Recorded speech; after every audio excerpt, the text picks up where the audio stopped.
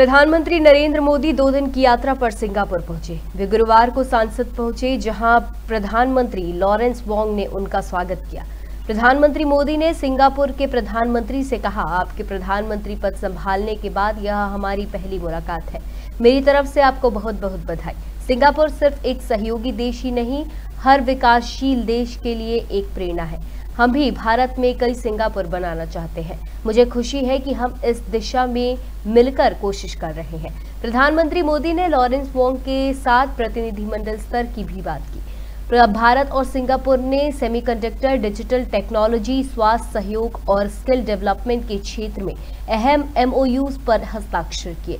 समझौते के समझौते के मुताबिक, दोनों देश semiconductor cluster development semiconductor designing और मैन्युफैक्चरिंग पर फोकस करेंगे। इस दौरान प्रधानमंत्री मोदी के साथ विदेश मंत्री एस जयशंकर, राष्ट्रीय सुरक्षा सलाहकार अजित डोभाल और अन्य वरिष्ठ अधिकारी भी मौजूद रहे।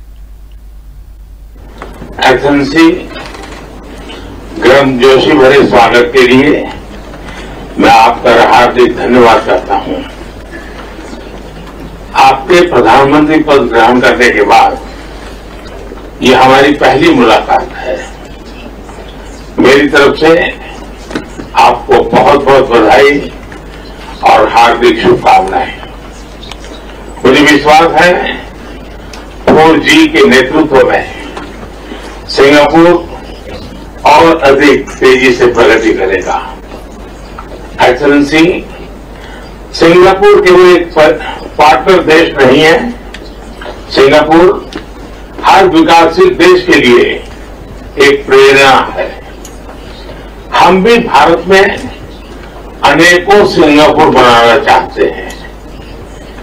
और मुझे खुशी है कि हम इस दिशा में मिलकर प्रयास कर रहे हैं। हमारे बीच जो मिनिस्टरियल राउंड टेबल बनी है, वो एक पाथ ब्रेकिंग मैकेनिज्म है।